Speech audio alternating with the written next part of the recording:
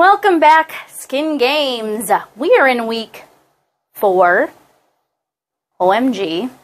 Um, we are making some real great headway with my acne model, Gwen. She has had much, much less breakouts, as you can see from her photos this week. We have incorporated some new ingredients this week um, in her volcanic ash mask. Ash mask? That thing.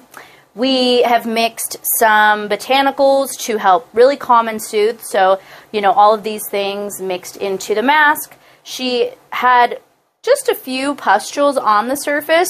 I'm finding almost nothing underneath the surface of the skin anymore, which is exactly what I want. Everything has kind of been purged out.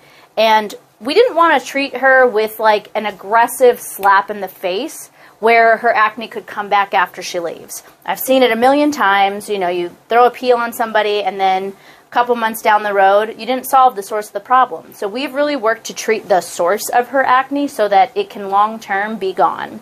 Um, so, of course, like I said previously, the diet, the exercise, the supplements, things like that, all being incorporated into her routine as well as her new skincare, just to, to really treat the problem inside and out. So I think we're just trucking along well. I mean, as you can see from her photos, she has made tremendous difference just in the first four weeks. We still have four weeks to go. I really do think we're probably going to be able to microneedle her maybe week six or seven because she's just looking phenomenal. Um, so we'll play it by ear. We'll see what happens. But as of now, I'm really excited to see where this goes. So keep checking back and uh, don't miss our final results.